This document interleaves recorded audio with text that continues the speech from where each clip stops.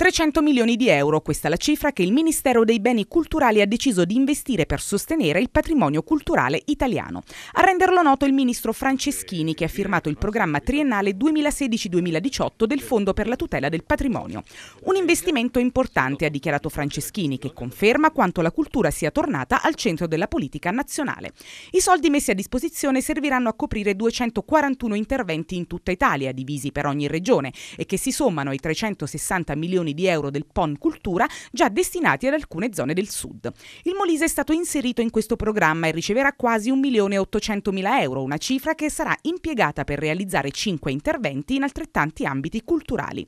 Come lo stesso ministro ha sottolineato, non c'è settore che non stia ricevendo un impulso significativo, dall'arte all'archeologia, dalle biblioteche agli archivi, dai musei alle eccellenze del restauro.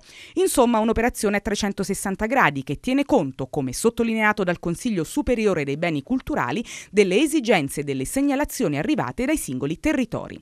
Ma ecco punto per punto come saranno distribuiti i fondi in Molise. 350.000 euro andranno a Palazzo Iapoce di Campobasso, oggi sede della soprintendenza, per verificarne la stabilità in caso di terremoti e per la prevenzione degli incendi.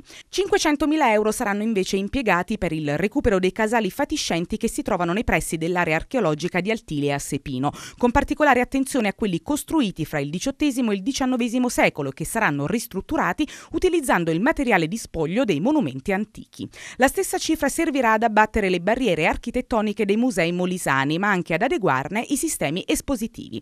L'operazione riguarderà Palazzo Pistille e Museo Sannitico di Campobasso, il Museo del Paleolitico di Isernia, Museo Archeologico e Castello Pandone di Venafro, il Castello di Gambatesa e l'Abbazia di Castel San Vincenzo. Sempre per gli stessi musei a cui si aggiunge il Castello di Civita Campomarano saranno spesi altri 300 150.000 euro per l'adeguamento alle norme per la sicurezza sul lavoro. Infine 17.000 euro serviranno a restaurare i documenti dei registri di Stato civile a Isernia.